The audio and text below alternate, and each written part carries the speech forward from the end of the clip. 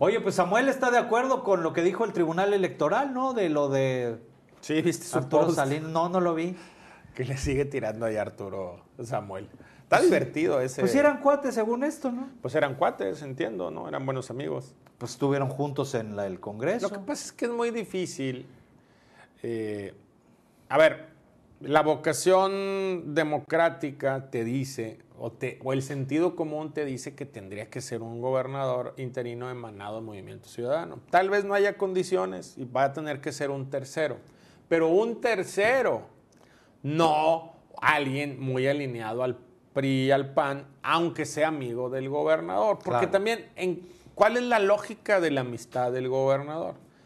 Y Samuel, son amigos de la política, Claro. no son amigos... De la vida. Sí, salvo que Arturo haya ido a su boda o haya estado en, el bautizo de su niña. Este, me explico, o sea, tú, tú eres mi amigo.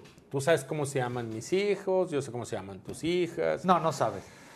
Sí, cómo no. ¿No sabes? Batallo con una, porque a todas les pones iguales. Este güey le, le pone a, a todas con A, me hace bolas, ¿no? Y, la, y peor, la que es mi Y la verdad que es dejada, no te acuerdas. Tú solito, compadre, lo recordaste. Pero bueno, sí conocemos a nuestros hijos y todo el rollo. ¿no? Exacto. Entonces, eso de, de la amistad es, una- es un valor relativo, es sobre todo en política. Una cosa es que por tu trabajo, to- es como mis compañeros diputados, ¿no?